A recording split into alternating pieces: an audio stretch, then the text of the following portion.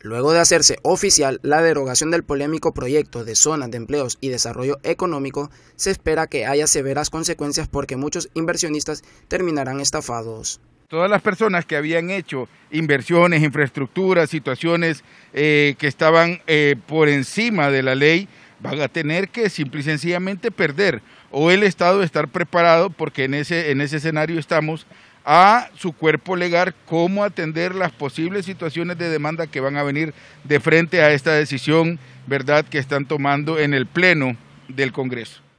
Asimismo, se espera que a partir de esta derogación se puedan corregir muchas decisiones innecesarias, las cuales no quedarían sin ser penadas por la ley. Tenemos que entender algo, muchos de los que aprobaron las sedes están ahí, o sea, están enmendando un error en los cuales vemos nosotros que era simple y sencillamente pingües negocios en los cuales los intereses de estas personas que inversionaron a través de componendas con padres de la patria que todavía están ahí, pues yo creo que las demandas deberían de ser ante esta gente que tuvo que haber recibido dinero para aceptar estas ilegalidades como estar vendiendo el, el, el terreno patrio.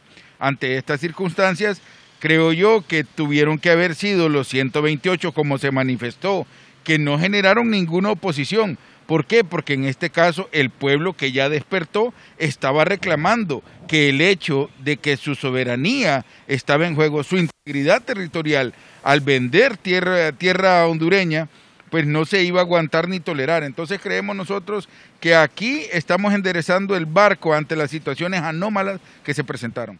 Con apoyo en cámaras de Héctor Mengíbar, les informó Cristian Cerón.